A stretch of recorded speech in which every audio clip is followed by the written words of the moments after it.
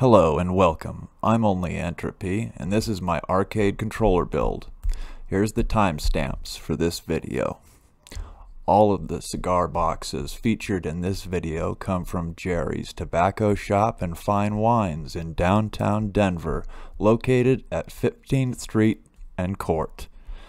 This is not to promote the use of tobacco, but they do have a great selection of cigar boxes, as you can see. But any local tobacco shop or cigar shop should have plenty of boxes on hand that they're dying to get rid of generally two to three bucks a piece.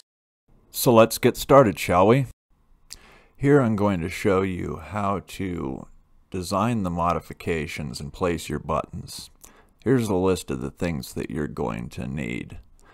Now, first off, you want to select the right case. Make sure that it's sturdy enough and that you have enough surface area on the top to accommodate all of your buttons, your joystick, the base plate that supports it, all of that, and spacing in between. Now, the one thing that people tend to overlook is the depth of the buttons. And if you're going with LED buttons, they tend to be pretty deep, about two and a half inches. If they're Sanwa or Suzo HAP buttons, that's about what they'll be. And those are the kind of builds that I would recommend. Uh, the Japanese hardware is better than the Chinese knockoffs. But uh, at any rate, essentially, you're going to go from one side and then from another, measuring from one one direction and then another to come to a common point or triangulate your position of where you're going to drill the hole. Uh, you can see how I'm doing this. Now, listed is a T-square or ruler. This is a roofing triangle and a Sharpie marker that I'm using, and that's so that you can kind of see what I'm doing, but you can see how I'm measuring from one side and then measuring from another direction and coming to that common point where I then mark off that spot with the Sharpie, like so. And when you're done, it's always a good idea to go back and uh, maybe emphasize, clean up your markers, and make sure that uh, you got the right spot. When you're going to drill holes, you want to make sure that you create a little bit of a pocket or a, a, gouge or divot for the drill bit to rest in so that you'll make an accurate hole and you don't get a drill bit just skipping around on the surface wildly. I know some people are laughing right now, but not everybody knows how to drill a hole. Don't laugh. This is how we learn. We all have to learn these things at some point.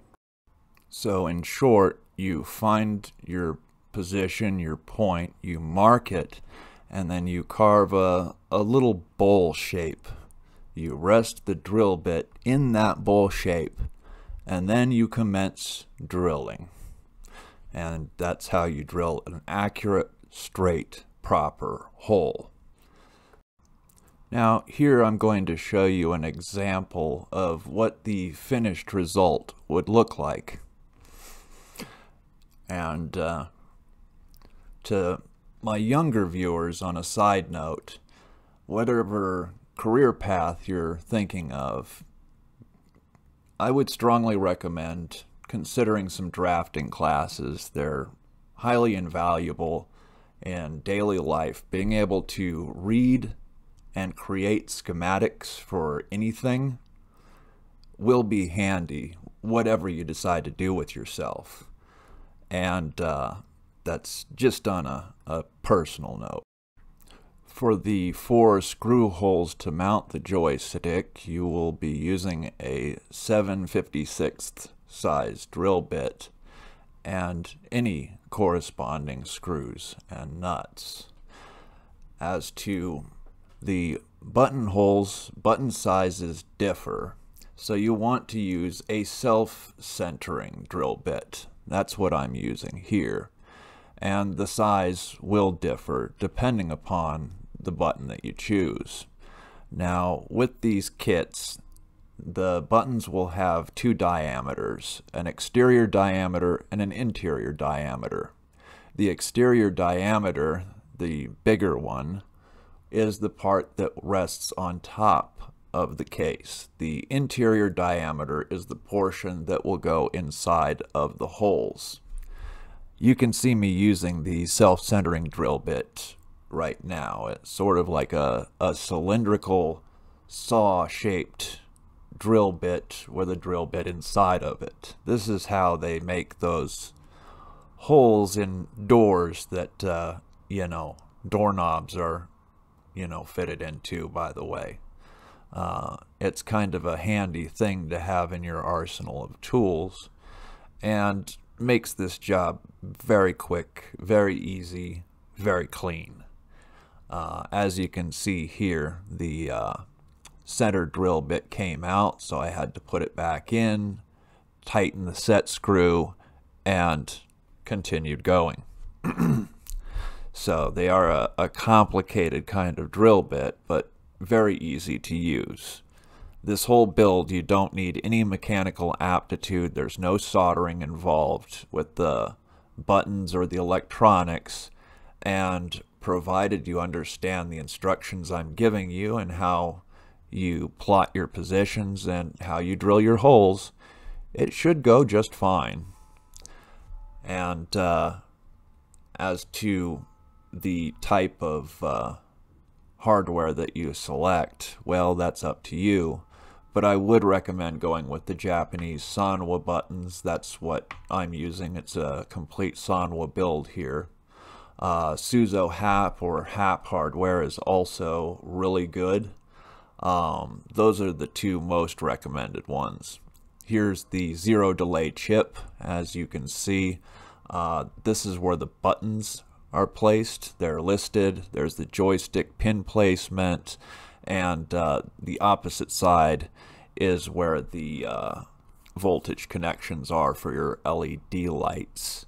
Generally speaking, uh, they're marked on the reverse side of the chip, so you should have a pretty easy time plugging these uh, wires into, or these pin ports onto the pins uh, on the, the zero delay chip, as you can see me doing here. This is a uh, power connector that I'm putting in right now. That's a 5 volt. Uh, that's what the red indicates, and the white, that is the pressure sensor from that particular button that I'm connecting right now and uh, then I'm just going to snap that uh, uh, pressure sensor and uh, light into place into the button. You can see I'm uh, screwing on the uh, plastic nut that holds the button into place and goes on pretty easily. This is this is how simple these builds are and then you just put it in, press it in, and uh, give it a little turn.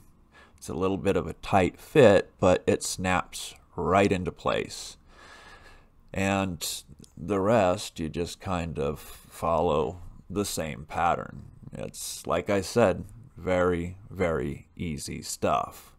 Um, there's no soldering. It's just pins and pin ports and not that complicated having already recommended Suzo HAP or preferably Sanwa hardware, um, I will tell you that you'll probably deal with 30 to 50% more in cost.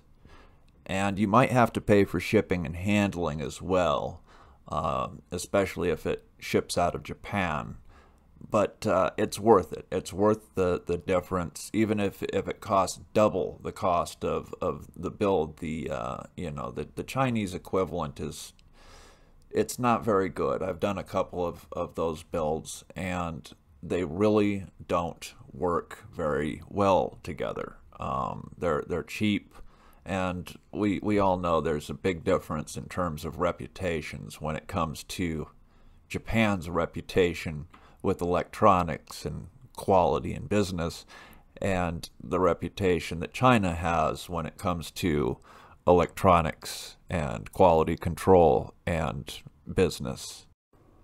So, I would recommend you spend that little bit of extra money and go with the Sanwa hardware, the Suzo HAP, genuine arcade components, and not the cheap equivalent, whatever that may be. You will be disappointed if you go that direction. The buttons are mashy, they barely work, if at all, and you probably won't use it more than once. If you have any questions, please leave them in the comments section, and I'll try to help if I can. If you'd like to see more videos like this, also, please let me know in the comments section. Click the like button, and consider subscribing if you haven't already. I'm Only Entropy.